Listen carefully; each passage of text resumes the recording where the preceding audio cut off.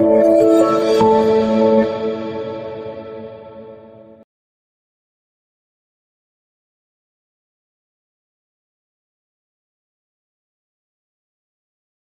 tracking must first set at least two tracking rules and save these rules as presets. For example, let's first enter the intelligent settings. Click the Enter area. We first move the camera to a position on the left, draw a rule box, and then set this position as the preset point 1.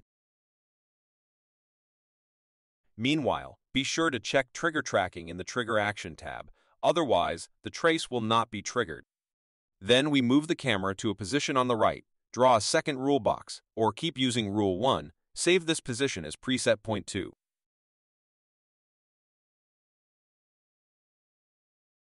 Also, don't forget to check the trigger action.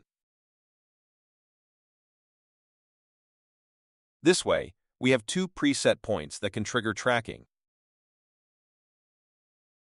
Finally, check the Enter Area box in the Intelligent panel. Then return to the Live View tab PTZ Control panel, create a new patrol, and add the presets to the patrol. You can specify the order of presets and the duration of camera dwell. Save patrol, then call patrol. At this point, the camera will perform patrol tracking.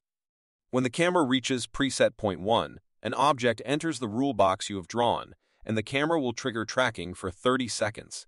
After 30 seconds was missing, the camera will go back to the preset point 1 and continue to do the patrol again. Similarly, you can also set multiple preset points with trigger rules in the patrol tracking.